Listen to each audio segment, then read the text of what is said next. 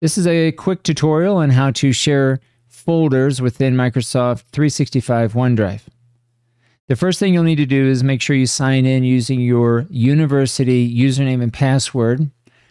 You can go to portal.office.com to go to the main page if you're just getting into uh, this space for the first time. This will take you to the main page. And then from there, you sign in and select from this drop down menu OneDrive and then My Files. So for the purposes here, I'm going to create a temporary folder and then go into this folder and create a subfolder. Call it whatever you'd like. Now, if you want to share this folder, there's several ways to do it. What I would recommend is select Manage Access click share. And then that button, let me go back and do that again. Just select manage access, share, and then this gear icon. And then select this option where it says, here in our case, people within the university. Now down here, you'll have an option if you want to share this information providing others to either just view it or edit it. And this will depend on the purpose or how your instructor is asking you to share.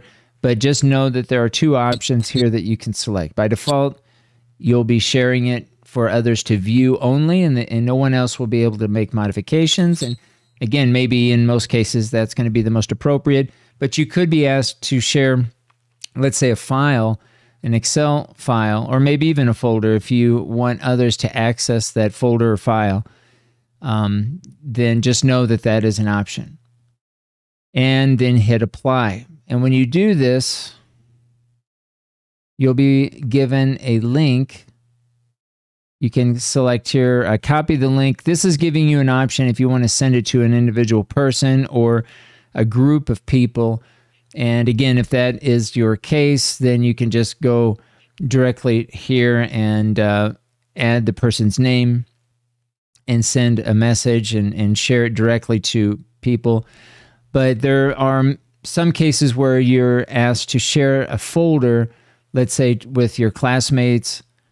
And so uh, then it would be easier, I think, just to do it this way. Select the, the link, copy the link itself, and then provide the link to everyone else that you want to access that information.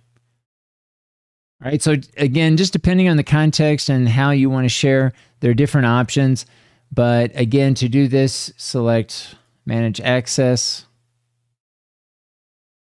select Share here, and then the, the gear icon, and then select people within the university and then select either edit or view and apply. You do have an option to block downloads, but that's depending on your situation.